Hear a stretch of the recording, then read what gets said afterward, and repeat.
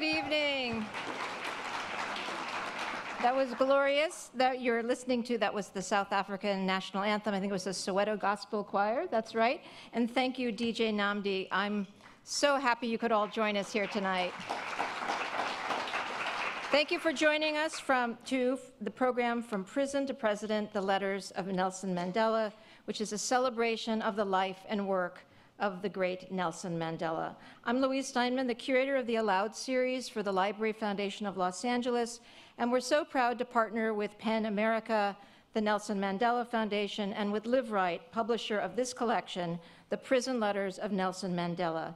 And tonight's program is uh, one of many that was held throughout the world, including a recent program that PEN America presented at Symphony Space in New York to celebrate the centenary of Nelson Mandela's birth. We've all joined forces tonight for this important commemoration of one of the 20th century's most inspiring historical figures, a determined revolutionary, as he referred to himself, who fought an unwavering struggle for liberation. Um, some of these letters that we'll be reading, that the, that the um, cast will be reading, are emotional. So if people do get emotional, um, yourself included, bear with us, we'll bear with you. Um, they show Mandela in his most vulnerable humanness and I think at a time when um, separation of families is again in the headlines as an instrument of state control and coercion, these letters, for many reasons, are more timely than ever. All the letters you will hear tonight are from this new Liveright collection, which is available for purchase tonight in the lobby, compliments of the library store. Nelson Mandela was born into the Xhosa royal family on July 18, 1918. And I'll quote our former president, Barack Obama, who noted last week when he delivered the Nelson Mandela annual lecture in Johannesburg, quote, there was no reason to believe that a young black boy at this time, in this place, could in any way alter history. Mandela's struggle was particular to his place, his homeland, but he and his movement would come to signify something larger, the possibility of a moral transformation in the conduct of human affairs. We've invited three very distinguished readers tonight. Uh, we're sorry that Colm Tóibín was unable to join us. Uh, they are uh, Amanda Gorman, National Youth Poet Laureate, Ashaki Jackson, a social psychologist, poet, and activist, and Michael Datcher, novelist, poet, and literary critic. They join our other two very distinguished visitors, Zamaswazi Dlamini Mandela, granddaughter of Nelson Mandela and Winnie Madikizela uh, Mandela, and Sahm Venter, the editors, the collections editor. And Sahm is going to be our MC tonight. We hope that you'll all stay and join us for a post-program uh, reception in the courtyard. Sahm and Swati will be signing, um, Zamaswazi, also known as Swati, will be signing books in the lobby. And now please join me in welcoming uh, our distinguished guests, to the stage of the Los Angeles Public Library. Thank you.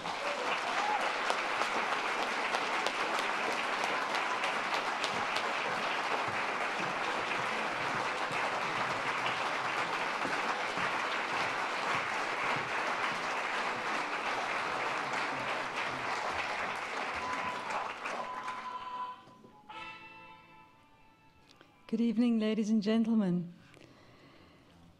Thank you for coming to this evening to mark Nelson Mandela's 100 years.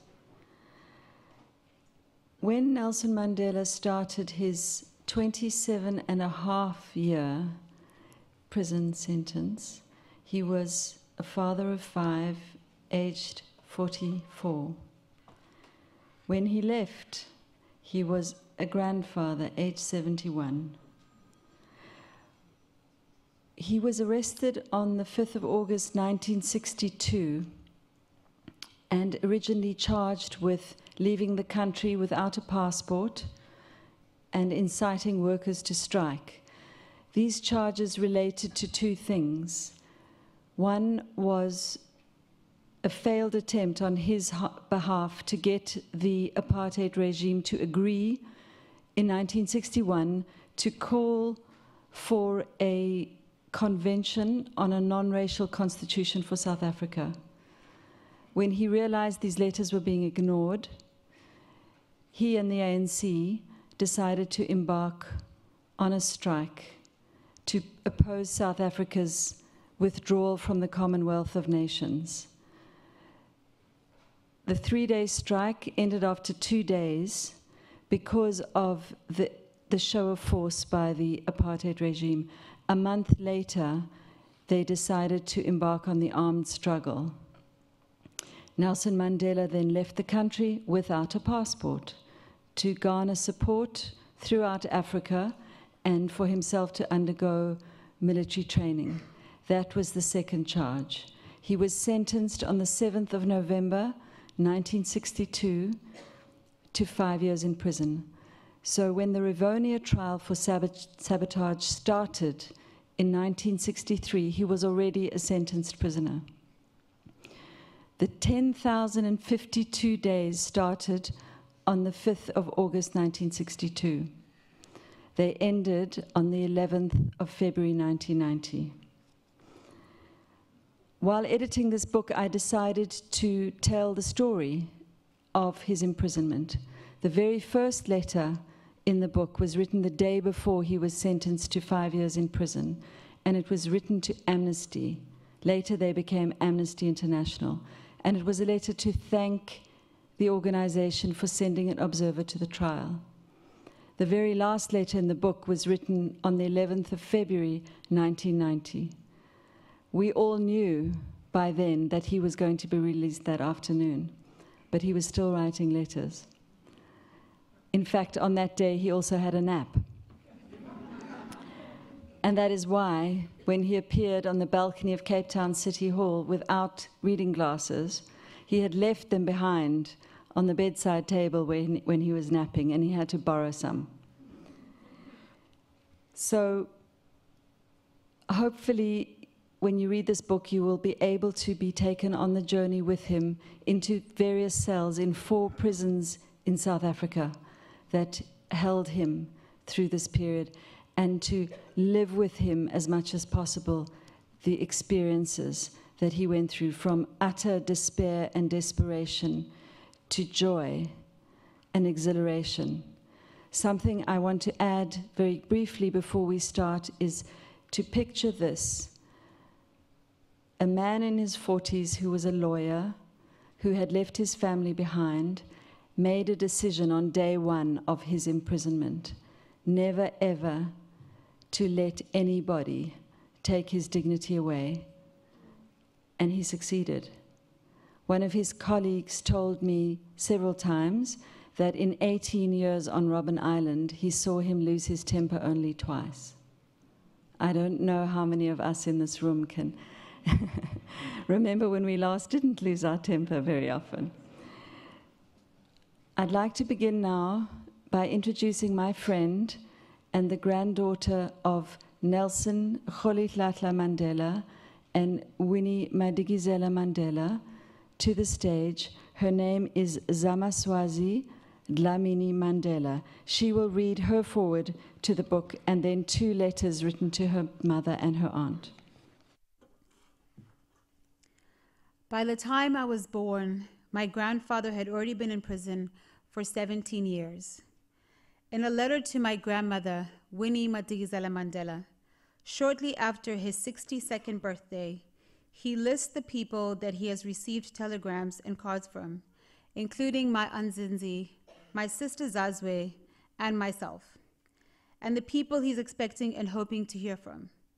So far, I have not received a single one of the multitude that friends have sent from all over the world, he jokes. Nevertheless, it is very comforting to know that so many friends still think of us after so many years. It's one of many examples in this book that shows how communication from the outside world bolstered him through his 27 years in prison, and just how much he yearned for these letters. During his incarceration, my grandfather wrote many hundreds of letters. The selection that appears in this book intimately acquaints readers not only the Nelson Mandela, the political activist, and the prisoner, but with Nelson Mandela, the lawyer, the father, the husband, the uncle, and friend, and illustrates how his lengthy incarceration, far away from everyday life, impeded him in carrying out these roles. It revisits a very dark time in South Africa's history, where those caught opposing the apartheid system's government system to oppress an entire race of people endured terrible punishments. Through his letters, he documents the ongoing persecution of my grandmother and provides insight into what it must have been like for his children Thembi, Makgatho, Makaziwe, Zenani, and Zinzi. To have an absent father they could barely communicate with or to. This I found unbearable. Even until they turned 16, they could not see him. As much as he tried to parent his children from prison, he couldn't. What has particularly affected me, especially as a mother, is witnessing through my grandfather's letters what my mother and my Aunt Zinzi went through as children. Often they were left parentless, while my grandmother was imprisoned as well, sometimes because of her involvement in anti apartheid activities, but also for being the wife of one of South Africa's most well known political prisoners. Most heartrending is the wistful optimism in many of the letters to my grandmother and his children, where my grandfather suggests, perhaps one day we will, and one day we shall.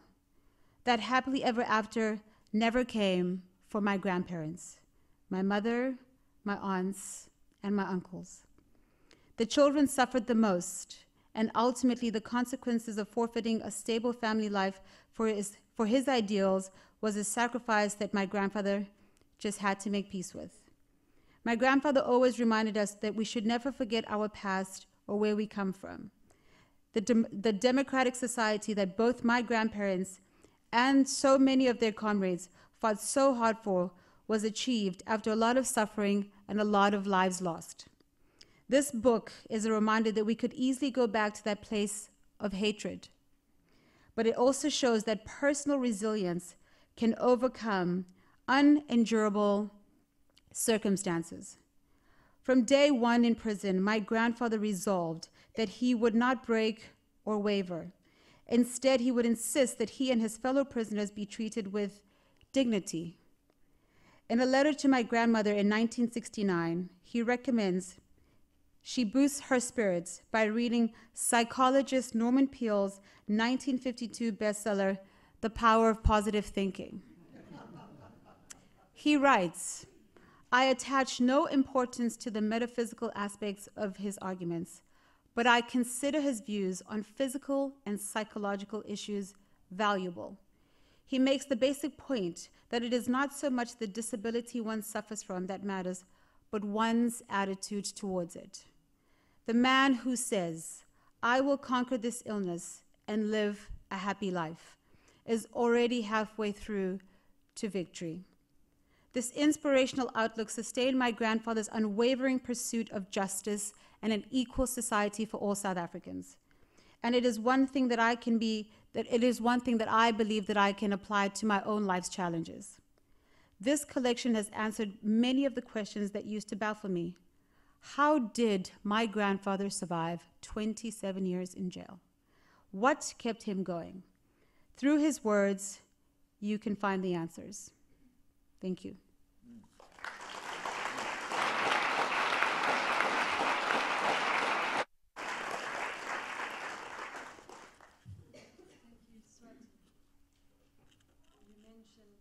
unendurable circumstances. And I think these are no more evident than in letters to your mother and your aunt. He could not see his children, and they were his smallest, only mere toddlers when he went to prison, until they were 16. This is a letter that, you, that your grandfather wrote on the 4th of February 1969 to your mother, Zenani, and your aunt Zinzi, they were, they were only 10 and 8 years old then. My darlings, the nice letter by Zinzi reached me safely, and I was indeed very glad to know that she is now in Standard 2. When Mommy came to see me last December, she told me that both of you had passed your examinations and that Zeni was now in Standard 3. I know that Kgatho and Maki have also passed. It pleases me very much to see that all my children are doing very well. I hope that you will do even better at the end of the year. I was so happy to learn that Zeni can cook chips, rice, meat, and many other things. I am looking forward to the day when I will be able to enjoy all that she cooks. Zinzi says her heart is sore because I'm not at home and wants to know when I will come back. I do not know, my darlings, when I will return. You will remember that in the letter I wrote in 1966, I told you that the white judge said I should stay in jail for the rest of my life. It may be long before I come back. It may be soon. Nobody knows when it will, when it will be, not even the judge who said I should be kept here. But I am certain that one day I will be back at home to live in happiness with you until the end of my days. Do not worry about me. I am happy, well, and full of strength and hope. The only thing I long is for you, but whenever I feel lonely, I look at your picture, which is always in front of me. Mommy visits me two or three times a year. In addition, I'm allowed to receive and write one letter every month. All these things keep me happy and hopeful, with lots and lots of love and a million kisses. Affectionately,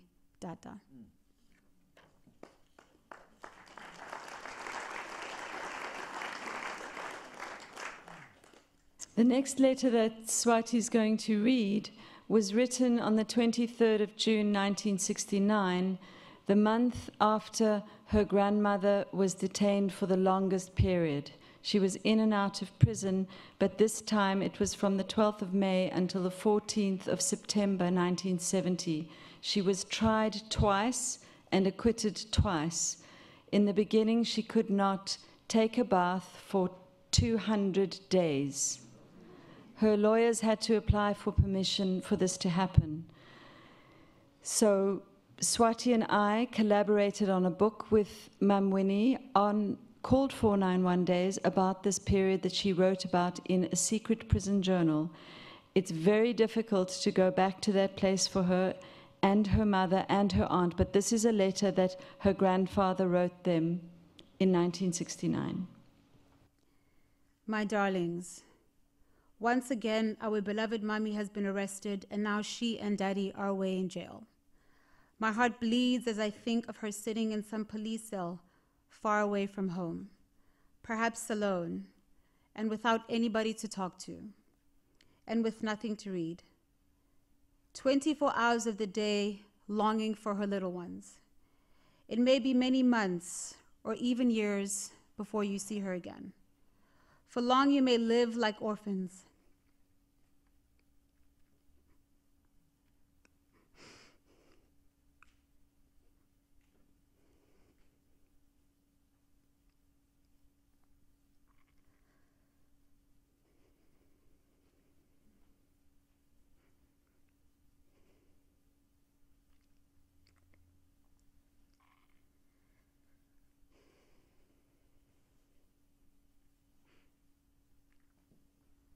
long you may live like orphans, without your own home and parents, without the natural love, affection, and protection Mummy used to give you.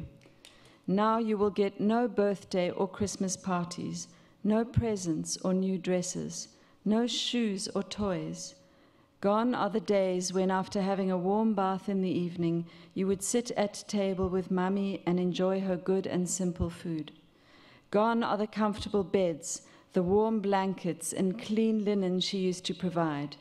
She will not be there to arrange for friends to take you to bioscopes, concerts, and plays, or to tell you nice stories in the evening, help you read difficult books, and to answer the many questions you would like to ask. She will be unable to give you the help and guidance you need as you grow older and as new problems arise. Perhaps never again will Mommy and Daddy join you in House 8115 Orlando West, the one place in the whole world that is so dear to our hearts. This is not the first time Mommy goes to jail. In October 1958, only four months after our wedding, she was arrested with 2,000 other women when they protested against passes in Johannesburg and spent two weeks in jail. Last year she served four days, but now she has gone back again, and I cannot tell you how long she will be away this time. All that I wish you always to bear in mind is that we have a brave and determined mummy who loves her people with all her heart. She gave up pleasure and comfort for a life full of hardship and misery because of the deep love she has for her people and her country.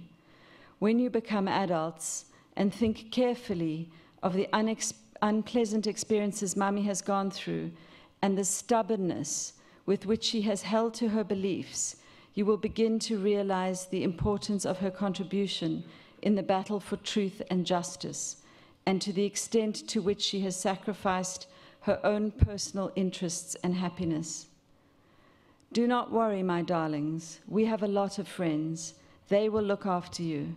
And one day, Mummy and Daddy will return, and you will no longer be orphans without a home.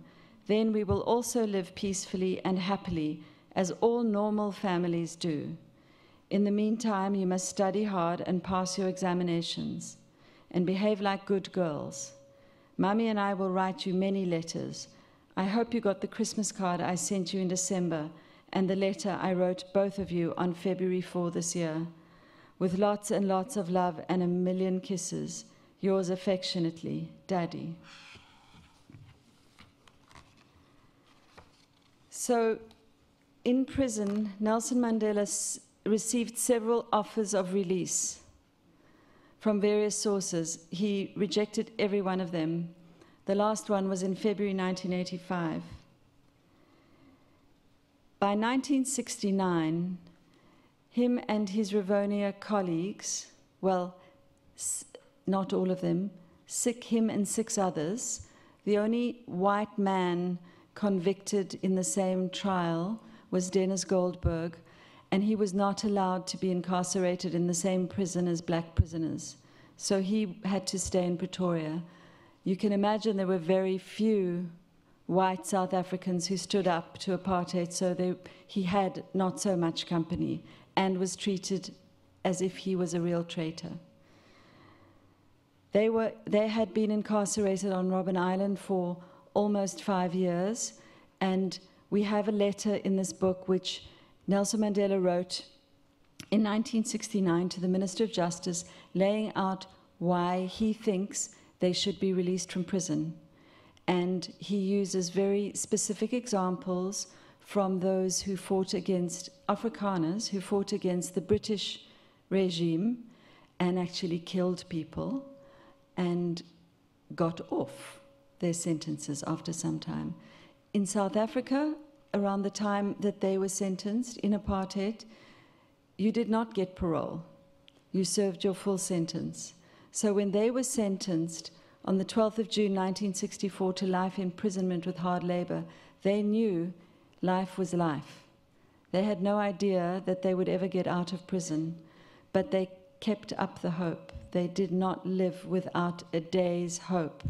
And that's what kept them going. In one of his letters to his wife, Nelson Mandela compared hope to a freedom fighter is what a life belt is to a swimmer.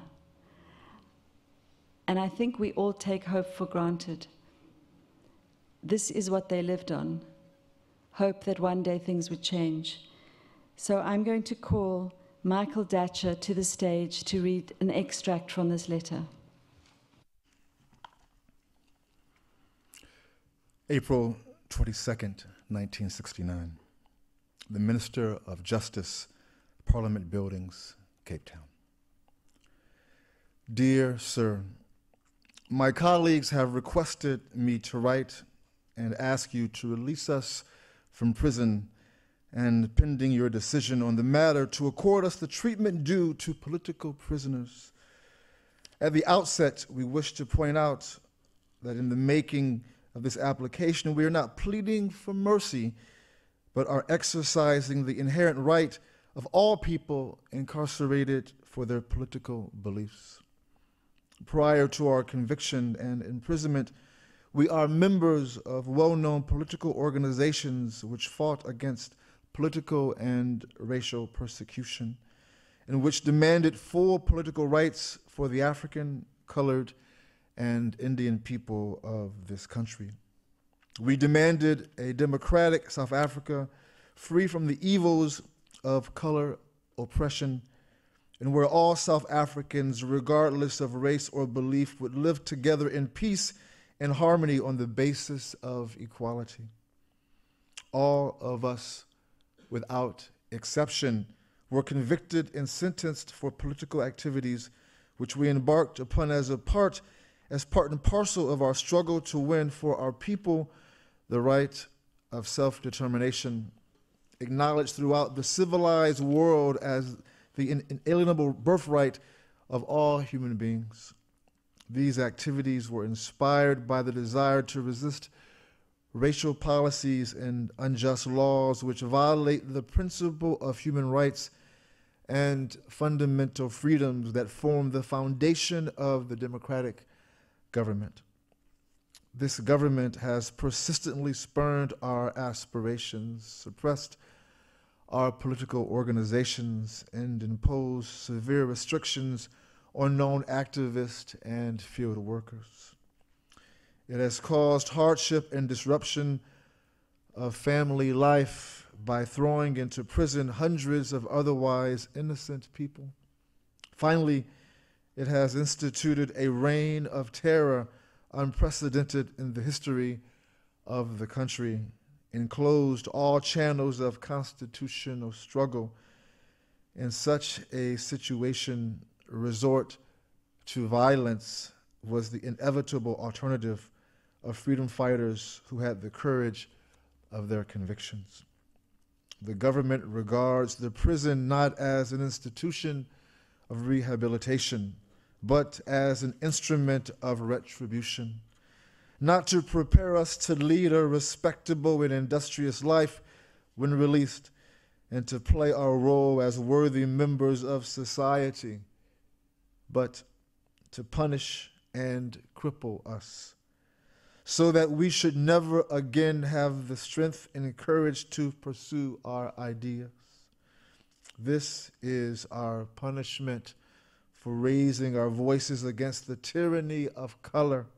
This is the true explanation for the bad treatment we receive in prison, pick and shovel work continuously for the last five years. A wretched diet, denial of essential cultural material, and isolation from the world outside jail. This is the reason why privileges normally available to other prisoners, including those convicted of murder, rape, and crimes involving dishonesty, are withheld from political prisoners. In conclusion, we place on record that the years we have spent on this island have been difficult years. These hardships have at times been the result of official indifference to our problems. Other times they were due to plain persecution. But things have somewhat eased, and we hope even better days will come. We trust that when you consider this application, you will bear in mind that the ideas that inspire us and the convictions that give us that give form and direction to our activities constitute the only solution to the problems of our country and are in accordance with the enlightened conceptions of the human family. Yours faithfully, signed in Mandela.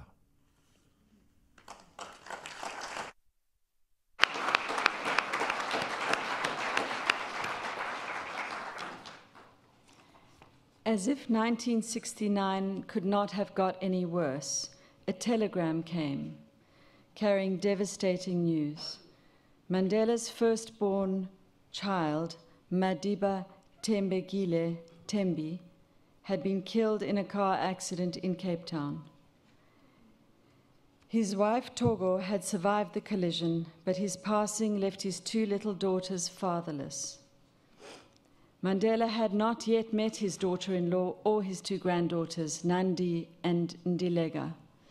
he would have to wait until they reached 16, the required visiting age for that privilege.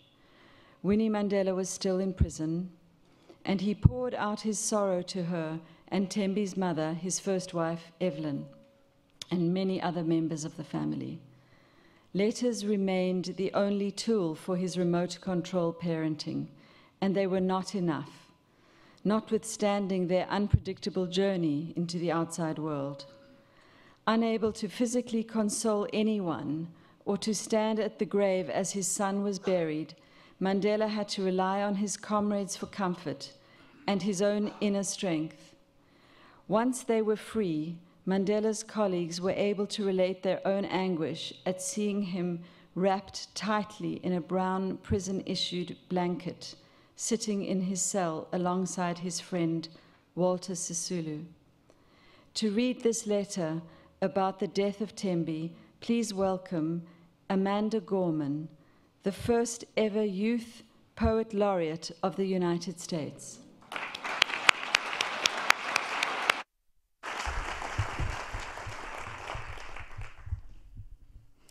Special letter to Zami, Winnie Mandela, July 16th, 1969. My darling, this afternoon the commanding officer received the following telegram from attorney Mendel Levin. Please advise Nelson Mandela is Thembekile passed away 13th. Instant results, motor accidents in Cape Town. I find it difficult to believe that I will never see Thembi again. On February 23 this year, he turned 24. I had seen him towards the end of July 1962, a few days after I had returned from a trip abroad. Then he was a lusty lad of 17 that I could never associate with death. He wore one of my trousers, which was a shade too big and long for him. The incident was significant and set me thinking. As you know, he had a lot of clothing, was particular about his dress, and had no reason whatsoever for using my clothes. I was deeply touched, for the emotional factors underlying his actions were too obvious. For days thereafter, my mind and feelings were agitated to realize the psychological strains and stresses my absence from home had imposed on the children. I recalled an incident in December 1956 when I was awaiting trial prisoner at the Johannesburg fort. At the time, Kgatho was six and lived in Orlando East. Although he well knew that I was in jail, he went over to Orlando West and told Ma that he longed for me. That night, he slept in my bed. But let me return to my meeting with Thembi. He had come to bid me farewell on his way to boarding school. On his arrival, he greeted me very warmly, holding my hand firmly, and for some time. Thereafter, we sat down and conversed. Somehow, the conversation drifted to his studies, and he gave me what I considered, in the light of his age at the time, to be an interesting appreciation of Shakespeare's Julius Caesar, which I very much enjoyed.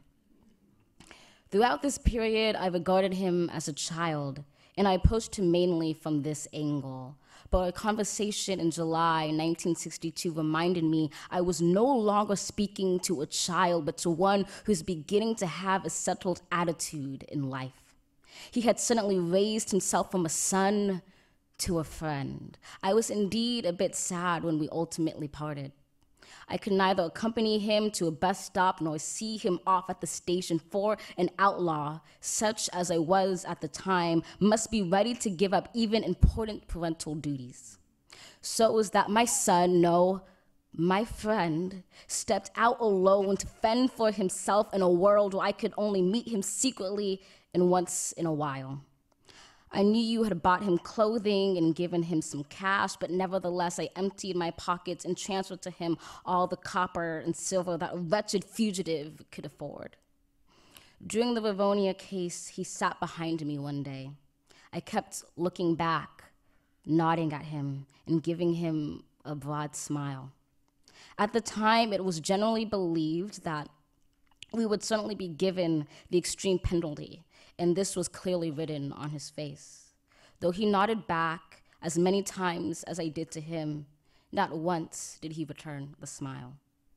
I never dreamt that I would never see him again. That was five years ago. I know what a shattering blow his death is to you, darling, and I write to give you my deepest sympathy. Though taken away so early in his life, he will rest in peace, for he has done his duty to his parents, brothers, and sisters, and to his relations. We all will miss him. It is a pity that neither you nor I could pay him the last respects that are due from parents to beloved son who has departed. To lose a mother and the firstborn, and to have your life partner incarcerated for an indefinite period, and all within a period of 10 months, is a burden too heavy for one man to carry, even in the best of time. But I do not at all complain, my darling.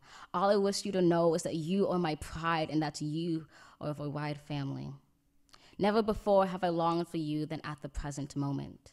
It is good to remember that in this day of bitter misfortunes and bitter reverses, the writer P. Joe Shulman told the story of an African commander in chief who took his army of magnificent black warriors for a hunt.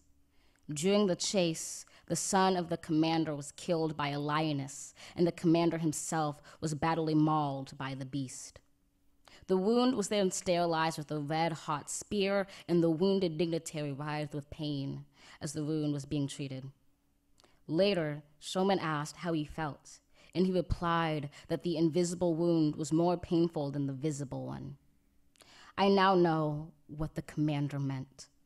I think of you every moment of the day, tons and tons of love and a million kisses.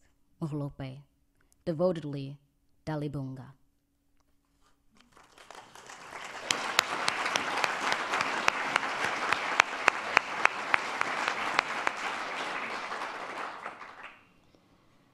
Besides having a deep vision and commitment for a free South Africa, Nelson Mandela also had the vision of one day passing his LLB exams. He started first in 1943 at the University of the Witwatersrand in Johannesburg. He didn't last very long, and by 1952, he was asked please not to come back. he owed them money, he had a young family, and he also was becoming more politically involved. But his determination to get this degree lasted almost his entire imprisonment. He was faced with many challenges. The books didn't arrive on time, the right assignments didn't get to the right people. It was extremely difficult.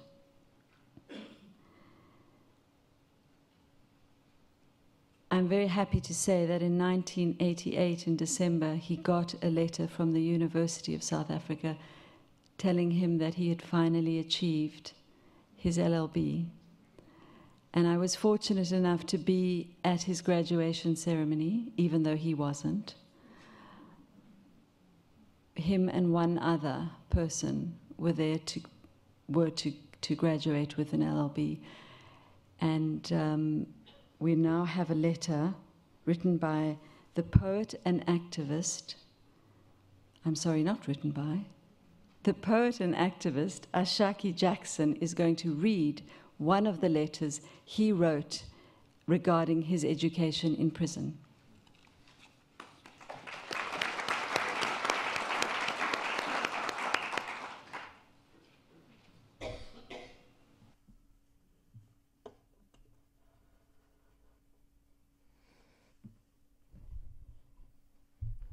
To the External Registrar, University of London, October 1st, 1969. Dear Sir, I should be pleased if you would kindly credit me with having passed jurisprudence and legal theory, and allow me to write the remaining three subjects for part two of the LLB course on two separate occasions i.e., I should like to write Public International Law in June 1970 and the remaining two subjects in June 1971. As a prisoner who is doing hard labor, I am experiencing considerable difficulty in preparing to write four subjects in one examination, and any concession you might make in this regard will give me a fair chance of showing competent knowledge in each subject I offer. I might add that one of my main problems has been to obtain the latest editions of the recommended textbooks and to consult the reference works, as well as the journals that would enable me to keep abreast of the development of the law in each subject. The total cost of the study material I require for the purposes of preparing for the examinations is, in my circumstances, prohibitive. I could afford such costs only if the remaining course is phased out as indicated above. Yours faithfully, Nelson Mandela.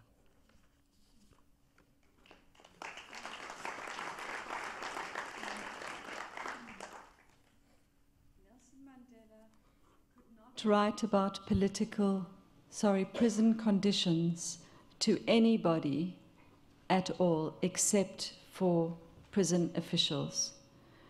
We have many such letters which detail what it was really like for him in prison. And Ashaki is going to read extracts from a 22 page letter he wrote to the Commissioner of Prisons in 1969 complaining about these conditions. Attention, General Dupreez. I must draw your attention to the abuse of authority, political persecution, and other irregularities that are being committed by the commanding officer of this prison and members of his staff. Although this letter raises complaints of a personal nature, some of them affect other prisoners as well, and it may therefore be necessary to mention certain names by way of illustration of these irregularities. During the past 14 years of my incarceration, I have tried, to the best of my ability, to cooperate with all officials, from the Commissioner of Prisons to the section warder, as long as that cooperation did not compromise my principles. I have never regarded any man as my superior, either in my life outside or inside prison, and have freely offered this cooperation in the belief that to do so would promote harmonious relations between prisoners and warders and contribute to the general welfare of us all. My respect for human being is based not on the color of a man's skin, nor authority he may wield, but purely on merit. In this country, only white prisoners have the right to sleep in pajamas. Black prisoners here sleep naked with only blankets as a cover. For 13 years, I have slept naked on a cement floor that becomes damp and cold during the rainy season. Although I am physically fit and active, such unhealthy conditions have caused some damage. I need the outfit urgently, and I must request you to allow me to purchase the recommended pajamas at the earliest possible convenience. It is futile to think that any form of persecution will ever change our views.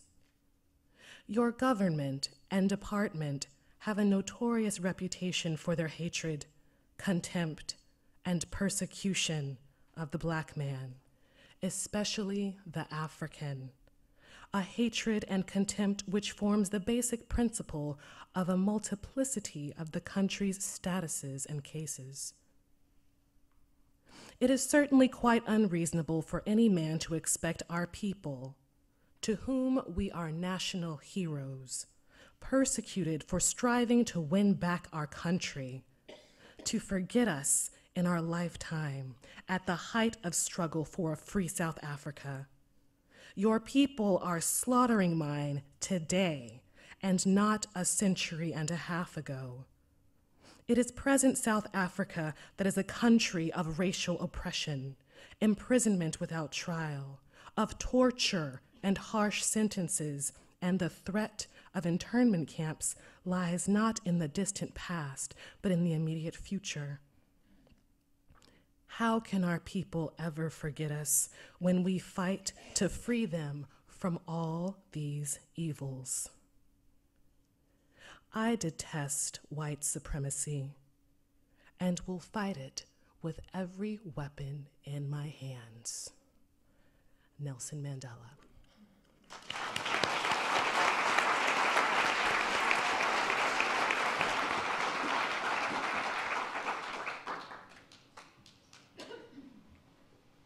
Winnie Madikizela Mandela was Zamaswazi's beloved grandmother.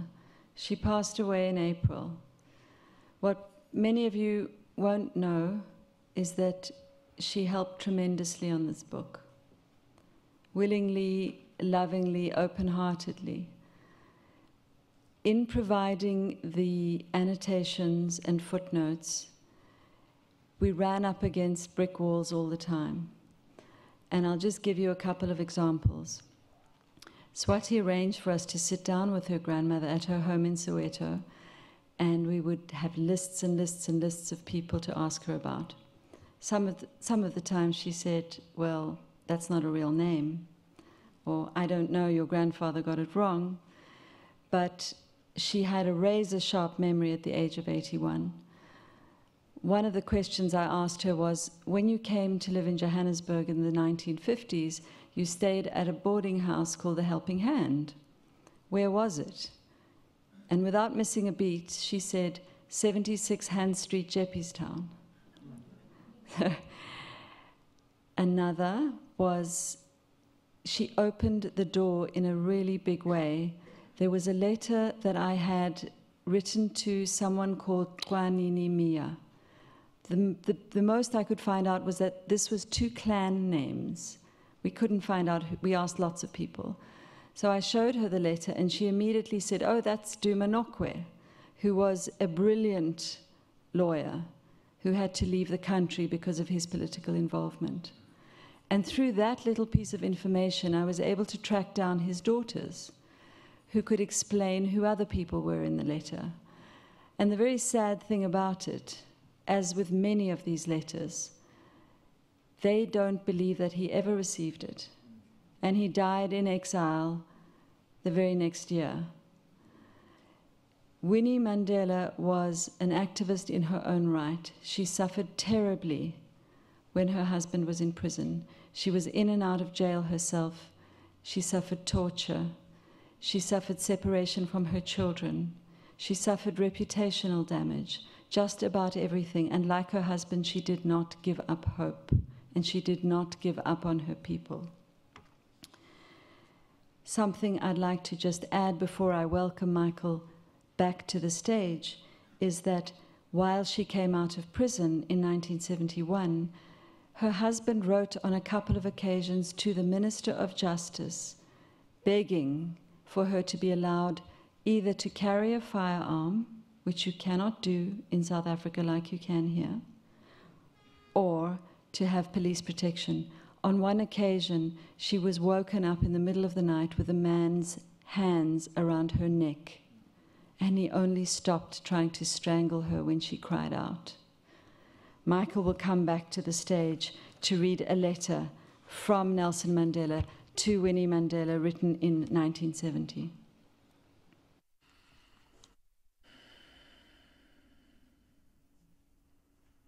To Winnie Mandela, August 1st, 1970. Dade Wethu, can it be that you did not receive my letter of July 1st? How can I explain your strange silence at a time when contact between us has become so vital? The crop of miseries we have harvested from the heartbreaking frustrations of the last 15 months are not likely to fade away easily from the mind.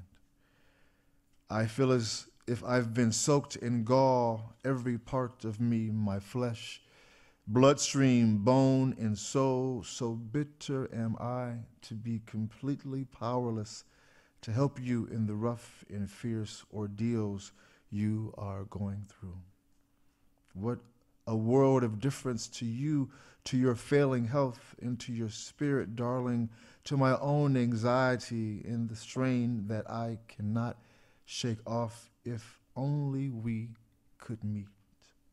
If I could be on your side and squeeze you, or if I could but catch a glimpse of your outline through the thick wire netting that would inevitably separate us. Physical suffering is nothing compared to the trampling down of those tender bonds of affection that form the basis of the institution of marriage and the family that unite man and wife.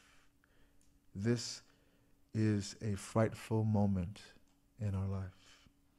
It is a moment of challenge to cherished belief, putting resolutions to a severe, a severe test, but as long as I still enjoy the privilege of communicating with you, even though it may only exist in form for me, and until it is expressly taken away, the records will bear witness to the fact that I tried hard and earnestly to reach you by writing every month.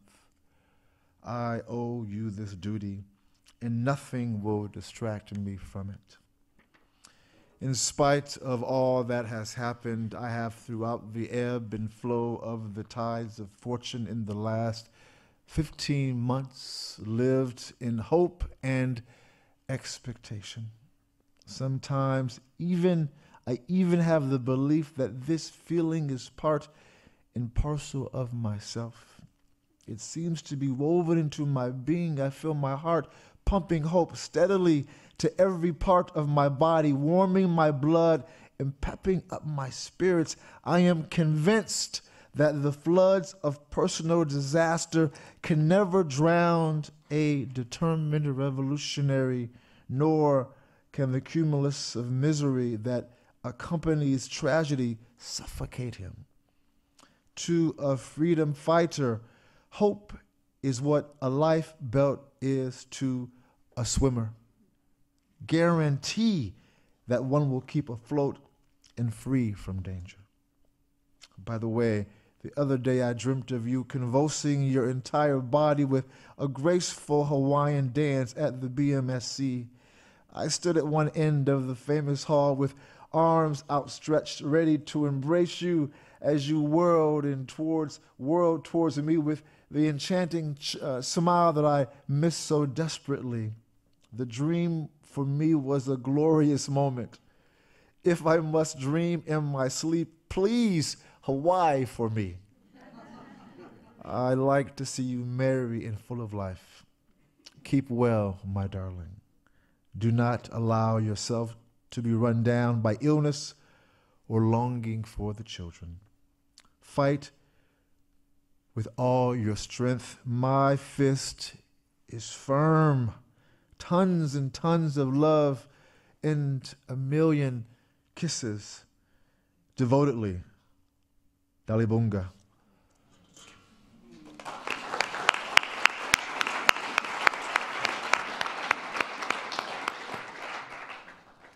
Please welcome back Zamaswazi to read another letter to her mother, written on the 1st of March, 1971. My darling, Friday the 5th February this year was your 12th birthday, and in January I sent you a card containing my congratulations and good wishes. Did you get it? Again, I say many happy returns. I still remember clearly the night when you were born in 1959. Your birth was a great relief to us. Only three months before this, Mommy had spent 15 days in jail under circumstances that were dangerous for a person in her condition. We did not know what harm might have been done to you and to her health, and we were happy indeed to be blessed with a healthy and lovely daughter. Do you understand that you were nearly born in prison? Not many people have had your experience of having been in jail before they were born. You were only 25 months old when I left home. And though I met you frequently thereafter until January 1962, when I left the country for a short period, we never lived together again. You will probably not remember an incident that moved me very much at the time and about which I never liked to think. Towards the end of 1961, you were brought to the house of a friend, and I was already waiting when you came. I was wearing no jacket or hat. I took you into my arms, and for about 10 minutes, we hugged and kissed and talked. Then suddenly you seemed to have remembered something. You pushed me aside and started searching the room. In a corner, you found the rest of my clothing. After collecting it, you gave it to me and asked me to go home. You held my hand for quite some time, pulling desperately and begging me to return. It was a difficult moment for both of us. You felt I had deserted you and Mommy, and your request was a reasonable one. It was similar to note that you added to Mommy's letter of the 3rd, Janu- 3rd December 1965, where you said, Will you come home next year? My mother will fetch you with her car.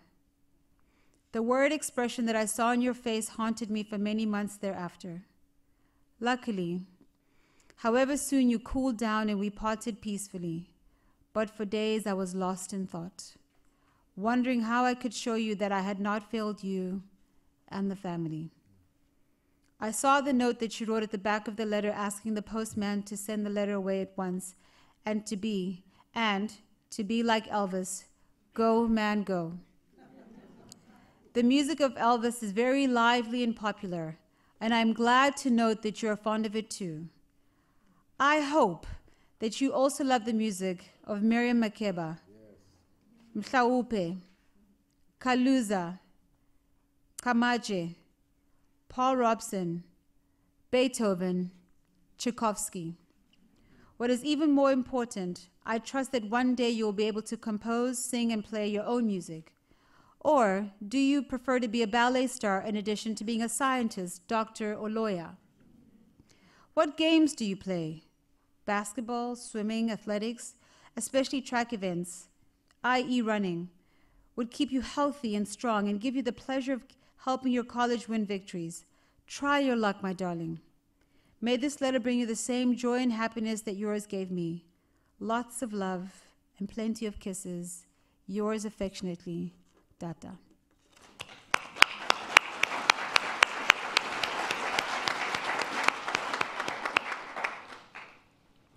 Some of the letters in this book were taken from a collection called the Donald Card Collection, housed at the Nelson Mandela Foundation. In 1971, t- three of the books, hardcover books that Nelson Mandela used to transcribe his letters in case the censors didn't send them or made him rewrite them, he had, he had the originals to work off. They mysteriously disappeared. And in 2004, Donald Card, who had since become a mayor of a city and then retired, contacted the Nelson Mandela Foundation and he said he would like to return these books to Nelson Mandela. There was a ceremony and both were present. Nelson Mandela then handed them to the foundation for their archives. Donald Card does not like to say that he stole these, he does not like us to say that he stole these, these letters. However, he certainly was in possession of stolen material.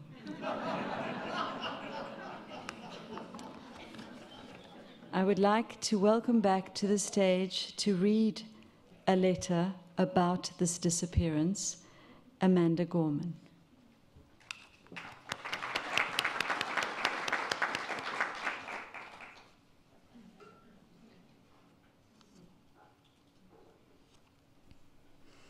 To the commanding officer, Robben Island, April 4th, 1971. Attention, Lieutenant Badenhorst. Further to my letter addressed to you on the 31st of March, 1971, I have to advise that yesterday morning I became aware for the first time that two of my foolscap hardcover notebooks, in which I keep copies of my correspondence, had been surreptitiously removed from my cell. I immediately reported the matter to the head, Warder Kirstens, in the presence of Warder Meyer. They both emphatically denied that they had searched my cell the previous day and removed the missing notebooks.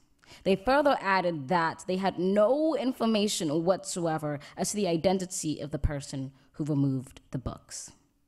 On the night of the 31st March, I decided to make a thorough search of my cell to find out what other articles, if any, were missing.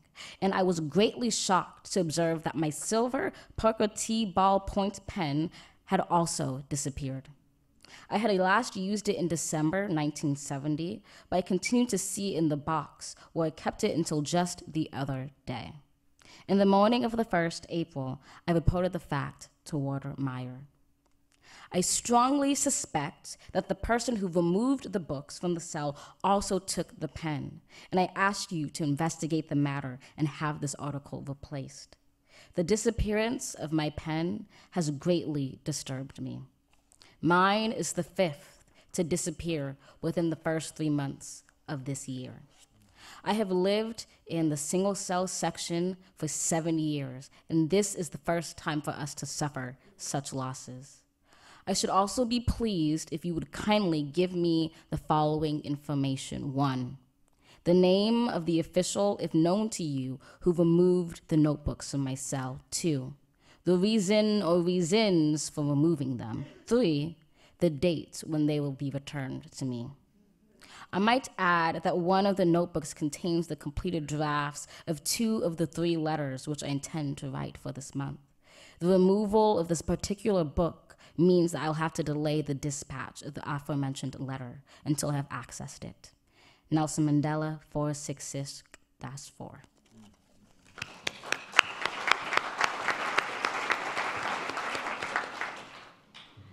It was some years before Nelson Mandela was allowed to write to non family members, i.e., his many friends outside.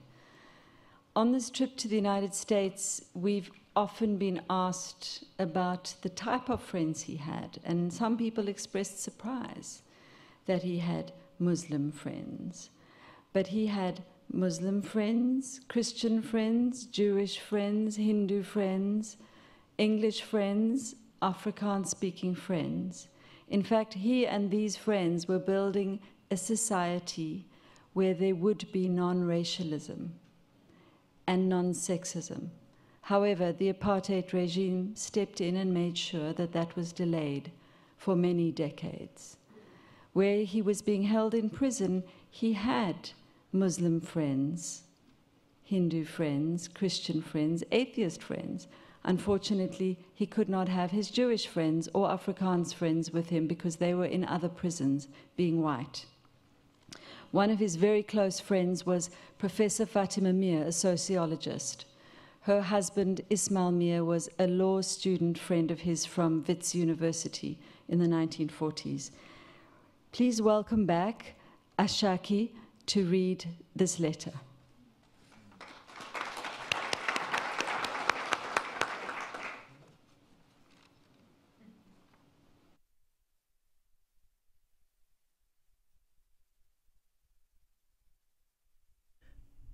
To Fatima Meer, friend and comrade. My dear Fatima, this letter should have gone to either Shamim, Shanaz, or Rashid. To hear directly from them would give me a deeper insight into the shifts in the patterns of thought and outlook amongst the young folk. My son Kgatho, one of my best pals, visits me twice yearly. We seem to be in agreement on major issues, but now and again he clears the cobwebs from my mind by taking a different view on matters which I have come to regard as axiomatic.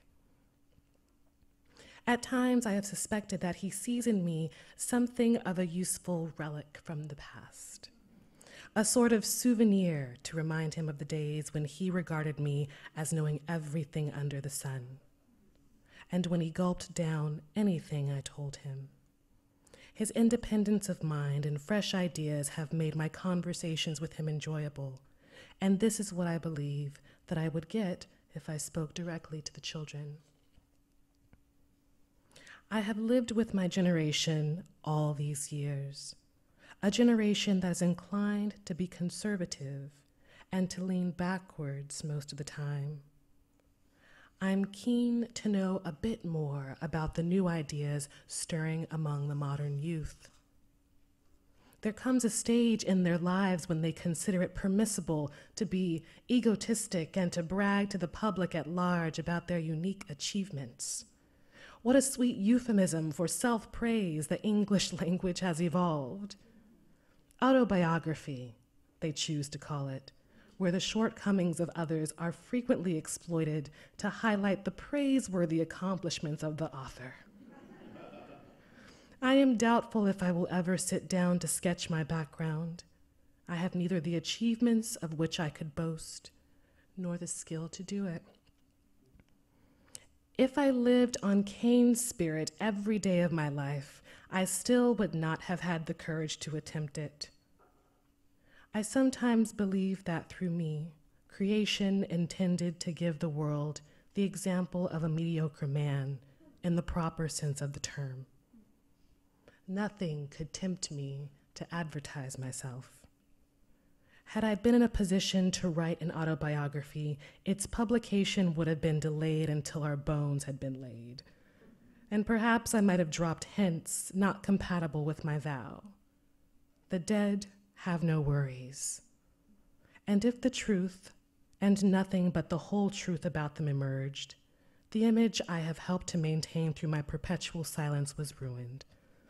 That would be the affair of posterity, not ours. With all my love to you, Ismail, and kids, very sincerely, Nelson.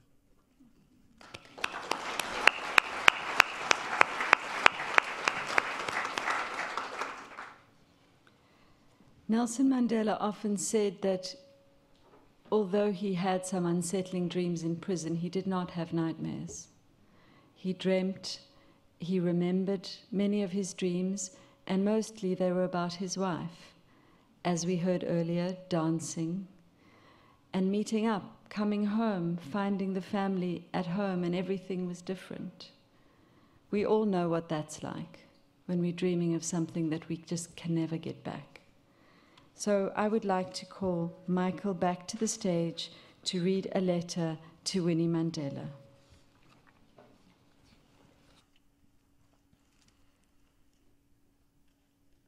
To Winnie Mandela, April 26, 1981. My darling mum, I continue to dream some pleasant, others not.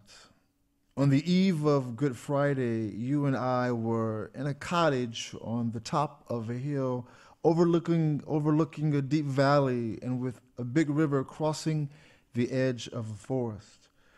I saw you walk down the slope of the hill, not as erect in your bearing as you usually are, and with your footsteps less confident. All the time your head was down, apparently searching for something a few paces from your feet. You crossed the river and carried away all of my love, leaving me rather empty and uneasy. I watched closely as you wandered aimlessly in that forest, keeping close to the riverbank. Immediately, you, as you wandered aimlessly in that forest, keeping close to that bank, immediately above you there was a couple which presented a striking uh, contrast. They were obviously in love and concentrating on themselves. The whole universe seemed to be on that spot. My concern for your safety and pure longing for you drove me down the hill to welcome you back as you recrossed the river on your way back to the cottage. The prospect of joining you in the open air in such beautiful surroundings evoked fond memories, and I look forward to holding your hand into a passionate kiss, to a passionate kiss. But to my disappointment, I lost you in the ravines that cut deep into the valley, and I only met you again when I returned to the cottage. This, this time, the place was full of colleagues who deprived us of the privacy, privacy I so wanted to sort out so many things. In the last scene, you were stretched out on the floor in a corner, sleeping out depression, boredom, and fatigue. I knelt down to cover the exposed parts of your body with a blanket. Whenever I have such dreams, I often wake up feeling anxious and much concerned, but I immediately become relieved when I discover that it was all but a dream. Devotedly, Madiba, I love you.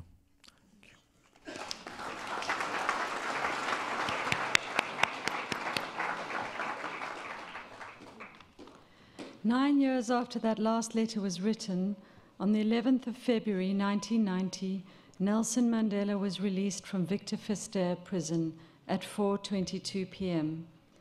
He addressed a crowd from the balcony of the City Hall in Cape Town and spent the night at the official residence of Archbishop Desmond Tutu. As President Barack Obama pointed out in his speech in South Africa last week, and when he got out of prison, he extended a hand to those who had jailed him because he knew they had to be a part of the democratic South Africa he wanted to build. To make peace with an enemy, he wrote, one must work with that enemy, and that enemy becomes one's partner. Nelson Mandela's job was to bring democracy and reconciliation to South Africa and one of the bodies he set up was the Truth and Reconciliation Commission. I would like to welcome tonight in the audience Linda Biehl, the mother of Amy Biehl, who was killed in South Africa 25 years ago. She embraced reconciliation that Madiba had designed, and she is used as an example throughout South Africa for her forgiveness and her humanity. So, can we give her a round of applause?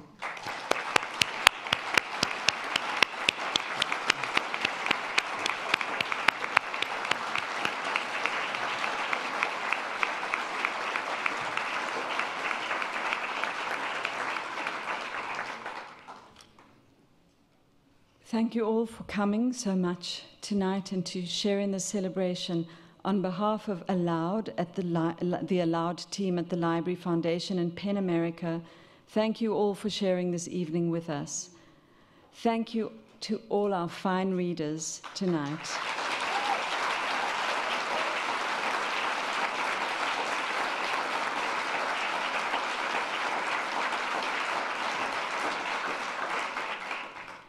Please stay in your seats for a very short closing video clip so that we can hear Nelson Mandela in his own voice talking about why it is important that humanity values each other as brothers and sisters. Thank you.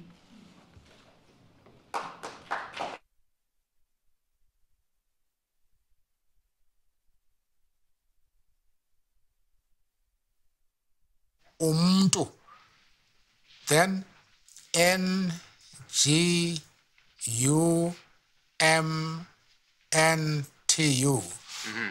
Umntu ngu. Umntu this ngu is. Mm-hmm. A person is a person ngabanye abantu because of other people. Mm-hmm. You see? What does that mean to you? this means that uh, you can be nothing if you do not live in society, if you don't get the support of others. Uh, if you are a president, you are a president because your people have put you in that position. You must never forget that. Because if you lose that support, you will never be president. You are a human being because other human beings want you to play that role of being a human being. Mm-hmm. If they don't want you to play that role, you will never be able to play it. Mm-hmm. That's what it means. Mm. Umntu ngumntu ngabanye.